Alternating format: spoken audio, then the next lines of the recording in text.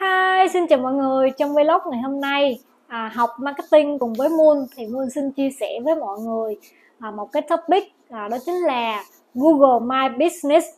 Thì như mọi người thấy thì à, cái chữ Google My Business có lẽ là khá là quen thuộc đối với những dân làm marketing. Tuy nhiên đối với những cái bạn mà hay làm kinh doanh hay là những cái bạn không có làm trong ngành marketing thì các bạn thường hay nhầm lẫn và dùng cái chữ là Google Maps thì à, như mọi người thấy thì cái chính mà hiện ra của Google My Business có thể là mọi người thấy là Google Maps. Tuy nhiên thì nó sẽ còn có rất là nhiều tính năng và à, lợi ích của Google My Business mà có lẽ mọi người chưa biết. Cho nên là trong video này Quân sẽ chia sẻ với mọi người để mọi người có thể là à, làm thêm nhiều cái tính năng này cho cái Google My Business của mình. À, để tăng cái hiệu quả kinh doanh cho mọi người hơn trên cái kênh tìm kiếm của Google.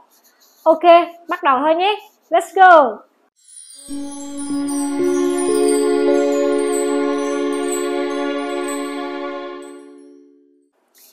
tiên thì Moon xin chia sẻ về lợi ích của Google My Business thì ờ, như mọi người thấy ờ, những năm gần đây thì mọi người hay nghe cái thuật ngữ là local SEO đúng không? Thì cái Google My Business nó là một phần làm cho à, nó cũng là một phần support cho local SEO. Local SEO nghĩa là gì? Nghĩa là khi mà mình à, tìm kiếm những cái từ khóa mà nó mang cái tính chất là ở địa phương nhiều hơn ví dụ như là ở phường ở quận ở gần đây à, ở uh, Việt Nam rồi ở gì đó thì nó sẽ hiện ra những cái kết quả tìm kiếm mà nó phù hợp với khu vực của bạn để cho bạn có thể tiện lợi nhất có thể đến cái cửa hàng đó mua. Ví dụ như là khi bạn đi mua một cái Ờ, à, cua gì đó đi. Bạn muốn tìm ví dụ khi bạn muốn tìm một cái nhà hàng cua gì đó ở gần khu vực của bạn thì bạn sẽ tìm là à, à, nhà hàng cua hoặc là quán cua gần đây gì đó thì Google nó sẽ đề xuất những cái nhà hàng mà gần với cái location của bạn. Thì cái location này bạn đã cài đặt ở trong cái điện thoại của mình rồi và Google nó dựa vào cái định vị này nó sẽ hiển thị ra những cái quán gần nhà bạn thì như vậy nó sẽ lợi ích cho bạn hơn là cái việc à bạn tìm cái quán gần nhà và bạn có thể đi đến cái quán đó. Thì nó đem lại lợi ích cho cả hai người. Thứ nhất là bạn là người dễ dàng tìm thấy cái quán cua gần nhà mình. Thứ hai nữa là cái quán cua đó cũng có khả năng có những cái khách gần nhà mình. Thì đó chính là về local SEO hiểu nôm na nó là như vậy. Ví dụ nha, mình ví dụ khi mà một cái người dùng đi người ta tìm một cái quán ăn hay là tìm một cái ờ, địa điểm gì đó hoặc là người ta thấy ở trên ờ, quảng cáo đâu đó một cái tên của một cửa hàng và người ta muốn tìm thử để cửa hàng nó có gần người ta hay không để người ta đi thì người ta sẽ lên Google người ta search những cái tên cửa hàng đó. Hoặc là người ta search ở quán ăn gần đây cà phê gần đây uh, cửa hàng ABC dz thì đó gần đây thì Google nó sẽ hiển thị ra một list những cái map cho bạn coi đúng không? Và khi mà bạn coi, bạn đâu đâu hẳn là chỉ coi Google Maps đâu. Bạn sẽ coi những cái đánh giá review, bạn sẽ coi những cái hình ảnh liên quan tới cửa hàng đó, bạn sẽ coi những cái nội dung, bạn sẽ coi những cái sản phẩm của những cửa hàng đó. Vậy thì những cái thông tin đó, cái cửa hàng đó phải cập nhật ở đâu? Thì đó chính là Google My Business. Google nó sẽ cho mình một cái à, chỗ để mà mình quản lý những cái thông tin đó mình cập nhật những cái hình ảnh cập nhật những cái nội dung. Nó giống như là cái fanpage của mình ở trên Facebook mà cái page của mình ở trên Google vậy đó. Đó thì mọi người nên cập nhật những cái thông tin và update những cái thông tin này vào thêm. Để khi mà người dùng có search ra bạn á thì có, sẽ có những cái thông tin mà để cho họ quyết định lựa chọn bạn nhiều hơn là những cái đối thủ khác. Ok bây giờ là vậy thì làm cách nào để xem và sửa những thông tin đó thì mọi người hãy cùng Moon à, theo dõi nhé. Moon sẽ hướng dẫn mọi người cái chỗ nào để mà mình chỉnh sửa những cái đó. Let's go!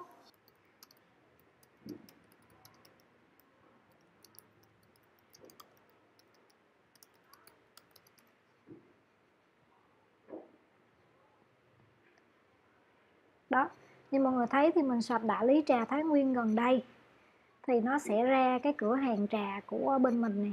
Bên mình là quận ờ, Tân Bình hay là quận Bình Thạnh ha. Đó, thì như mọi người thấy thì đây khi mà mình, ví dụ mình tìm hiểu về những cửa hàng trà này, thì mình sẽ xem những cái Google Maps khác nhau nè. Nó ví dụ ở đây,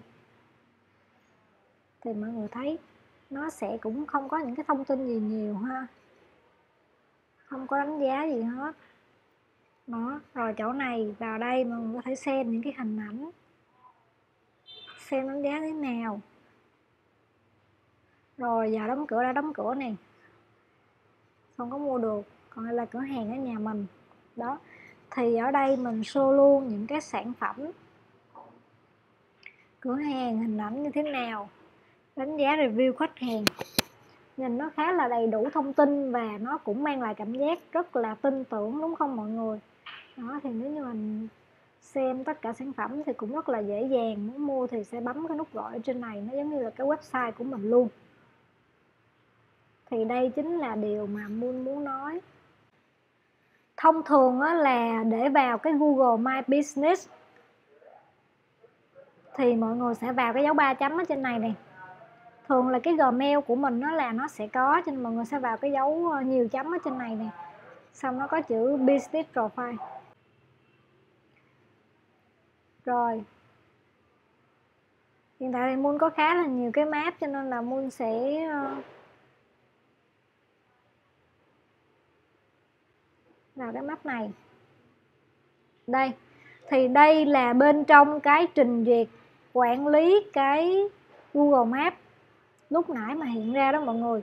Thì ở đây nó sẽ có nhiều cái hạng mục để mùa điều chỉnh nè. Thứ nhất là về cái trang chủ, là cái trang mà nó sẽ giống như là cái fanpage của mọi người vậy đó. Mọi người có thể tạo cái bài đăng nè, rồi thêm ảnh, thì nó sẽ hiện trên cái Google khi mà mọi người search ha.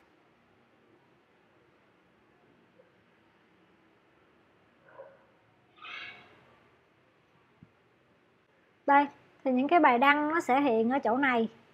Ở cái trang chủ này nó cũng cho mọi người những cái thông tin cơ bản về những cái chỉ số của cái ờ, Google Business Site của mình hiện tại. Rồi. Và cái mục bài đăng này là cái mục mà chuyên để mình đăng. Nó đây nó cũng có một số cái gợi ý cho mình nè. Rất là dễ dàng và dễ hiểu luôn. Đó. Thì ở đây nó sẽ có nhiều cái loại đăng này. Đó, nhiều cái hình thức đăng. Mọi người có thể click vào đây để trải nghiệm ha. Tiếp theo cái mục thông tin là cái mục mà mọi người có thể à, cập nhật cái cửa hàng của mình ví dụ về tên về địa chỉ về thời gian về số điện thoại rồi về website về thông tin cửa hàng về mô tả. Tất tật mọi người có thể chỉnh ở trên này ha. Thì thường có một cái điểm lưu ý của mọi người đó là mình sẽ đặt tên cái Google Maps này theo cú pháp theo kỹ thuật SEO xíu.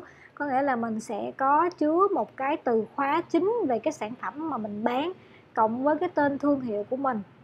Ha, ví dụ như là Moon làm ở đây á, chính của Moon nó là cái cái trà bắc thái nguyên đó, thì người dùng ờ, muốn biết được là người dùng người ta sẽ hay tìm những cái từ như là đại lý trà bắc thái nguyên này trà bắc thái nguyên tân cương, rồi cộng với cửa hàng thì muốn sẽ đặt những cái từ khóa nó kiểu như vậy. Cái này là tính năng mới của Google này, đặt đồ ăn này. Hay là tính năng mới này. Cái này mình chưa nghiên cứu xài. Rồi, thông tin chi tiết là những cái báo cáo về những chỉ số mà người ta tìm kiếm để người ta click vào cái Google Maps đó, đây là những cái chỉ số nè, mọi người thấy không? Ví dụ danh sách tìm kiếm, nó là sẽ có, trong một tháng thì có hơn một ngàn lần hiển thị trên danh sách tìm kiếm. Rồi, hiển thị trên danh sách, hiển thị trên danh sách map rồi, ở đây mọi người có thể bấm vào mọi người xem chi tiết ha. Đó, ở đây có khung giờ cho mọi người xem, phân tích được dữ liệu luôn.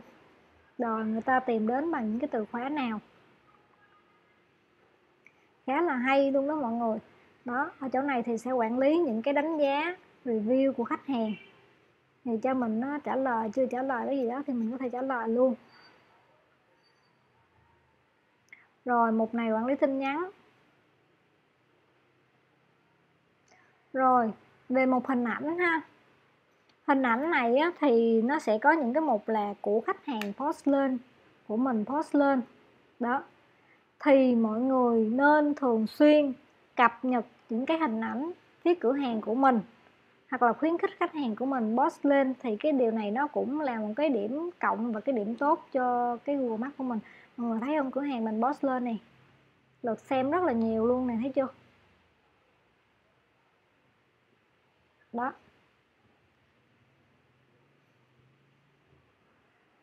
Rồi, về một sản phẩm. Thì sản phẩm này nó giống như là hồi nãy muôn có cho mọi người xem ở bên ngoài ha. Thì khi người dùng người ta vào xem, người ta hiện Google Maps thì người ta thấy một sản phẩm đây, người ta bấm xem tất cả. Thì người ta sẽ thấy cái sản phẩm của mình hiển thị như thế này rất là dễ dàng tìm hiểu. Thì Google nó đã nghiên cứu cái hành vi search của người dùng rồi, cho nên nó đã thiết kế những cái tính năng này để tiện lợi cho người dùng. Người ta có thể xem ở có ngoài cái màn hình search luôn. Cho nên mình sẽ cố gắng tận dụng những cái tính năng này của Google nha mọi người. Hiện tại những tính năng này là hoàn toàn miễn phí luôn. Phân chia danh mục giống y chang như trên website. Nó thì khi mọi người làm, mọi người cứ tạo sản phẩm. Rồi mọi người có danh mục đây nè. Đó, tạo danh mục mới hoặc là gì đó thì mọi người sẽ chọn vào rồi, thêm nút ở đây.